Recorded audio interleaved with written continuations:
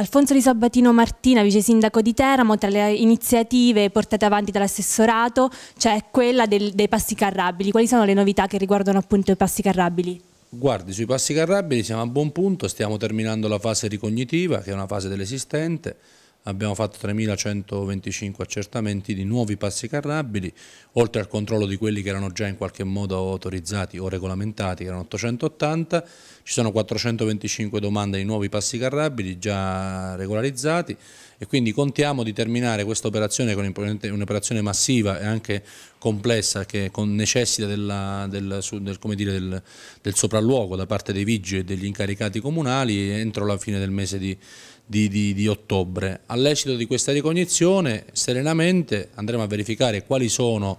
le modalità le tipologie di passi carrabili esistenti e prevedremo una serie anche di, di rettifiche, di detrazioni e di esenzioni per i fondi agricoli, che è un po' quello che già è emerso nell'intendimento anche della Giunta, noi condividiamo tutto a dispetto di quello che poi si vuole far credere, abbiamo una, una grande armonia e su questa continueremo a lavorare perché poi la lotta all'evasione non è un risultato del mio assessorato, è un risultato dell'intera Giunta che su questo punto è assolutamente coesa e, e intende continuare in questa che è una delle battaglie rispetto a quella che purtroppo è un fenomeno, una piaga sociale sulla quale tutti dobbiamo essere in prima linea, maggioranza e auspico anche opposizione,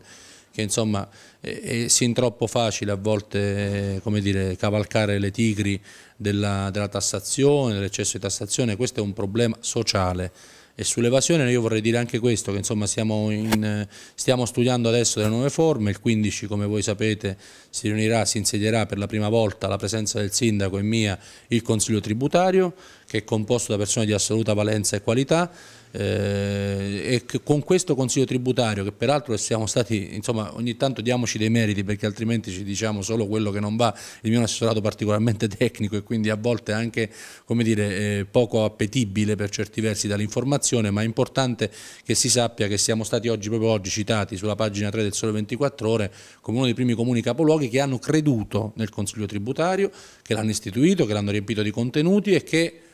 credo sia un maggior vantaggio, non hanno attribuito alcun compenso ai partecipanti del Consiglio che lo fanno con grande spirito di edizione e con grande senso di appartenenza. Novità in arrivo anche per il settore pubblicità e pubbliche affissioni? Assolutamente sì, è un altro elemento sul quale stiamo lavorando da tempo, era una delle situazioni un po' più complesse, se vogliamo una situazione anche di limbo nella quale da tempo il Comune versava, eh, perché c'è un abusivismo fastidioso in città per quanto riguarda le affissioni e perché anche contiamo di restituire grande decoro a questa città che lo merita. E nella gara che abbiamo, stiamo per licenziare, almeno il settore appalti pubblici e contratti sta preparando la, la gara